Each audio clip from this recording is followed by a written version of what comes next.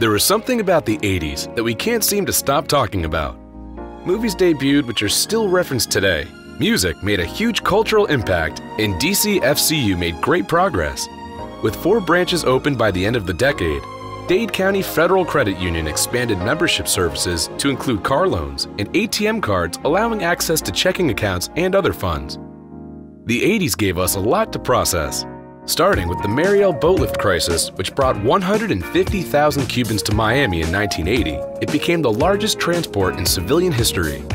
The year continued with a streak of its best and worst, including the epic rivalry of Sugar Ray Leonard and Roberto Duran, the election of former Hollywood actor Ronald Reagan as President of the United States, Pac-Man's debut in the assassination of Beatles member John Lennon. Video killed the radio star when MTV debuted the first music videos in late 1981, changing forever how we heard and enjoyed our music. With the help of video jockeys, this new phenomenon was here to stay.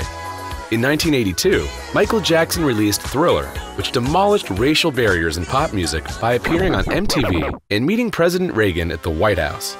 Steven Spielberg released E.T. the Extraterrestrial, becoming one of the highest grossing films of all time. 1983 brought a new service to Dade County Federal Credit Union, introducing checking accounts called Checkmate and Royal Checkmate. We also introduced another service strictly for Dade County employees, Direct Deposit.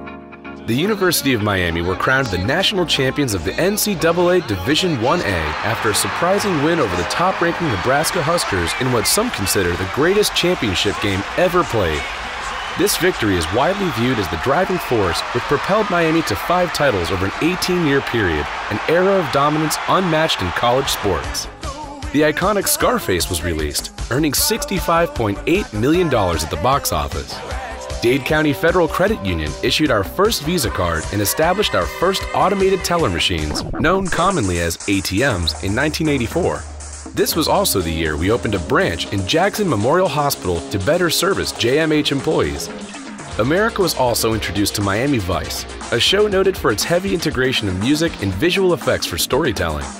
1985 saw great advances in politics, technology, and medicine when Xavier Suarez was elected as the first Cuban mayor of Miami. Microsoft Corporation released the first version of Windows, and the FDA approved a blood test for AIDS. Looking to expand, DCFCU had new headquarters in downtown by 1986 and had close to $80 million in assets.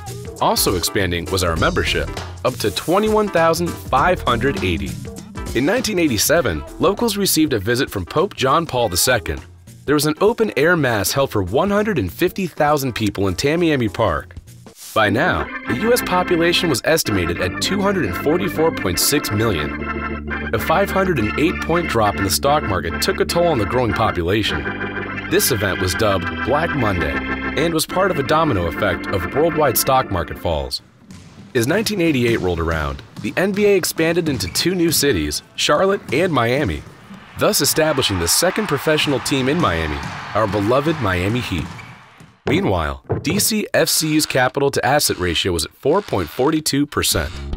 By 1989, our credit union's net worth increased by 14.3%, and members performed 634,720 transactions totaling $43,582,911 all through Publix Supermarkets Presto ATM network.